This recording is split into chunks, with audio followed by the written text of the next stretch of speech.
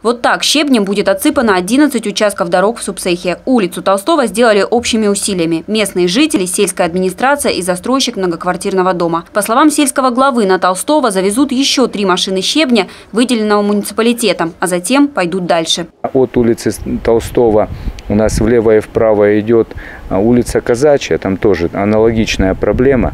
Невозможно даже до этой улицы жителям доехать. Мы э, на следующей неделе планируем 4 машины щебня высыпать на улицу Казачью.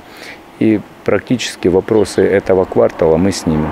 И в связи с тем, что мы дорогу подсыпем, уже не будет подтоплений во время дождя, подтоплений нижних улиц. На выездном приеме главе Анапы несколько обращений касалось местных дорог. Сергей Павлович поручил своему заместителю Анжелике Бузуновой выбрать наиболее проблемные участки. 11 дорог отремонтируют, а одну необходимо построить. Она должна дать путь строительной технике к участкам для многодетных семей. Вопрос перед главой Анапы подняла Анастасия Козлова. Решить его Сергей Павлович поручил архитекторам и дорожникам. Ее надо, чтобы натуру, натуру вынесли, и следом должен бульдозер пройти и резануть. Да, да, согласен. Не грейдер, бульдозер.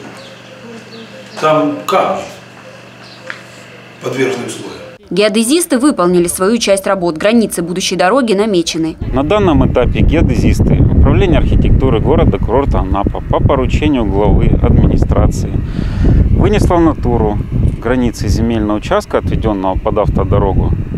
И следующим этапом в этом месте пройдет дорожная техника, которая произведет устройство автомобильной дороги для дальнейшего удобного доступа граждан к своим земельным участкам. Ждут положительного решения жителей домов на улице Калинина в Варваровке. Наталья Маслова, проводник многих благих дел в округе, обратилась к Сергею Павловичу с просьбой помочь построить муниципальную ветку водопровода. Муниципальное предприятие «Анапа-Водоканал» и депутат округа объединят усилия для помощи людям. В Варваровке на улице Калинина водоканал берет на себя обязательства по э, приобретению трубы ПНД 110 мм в размере 1 километра.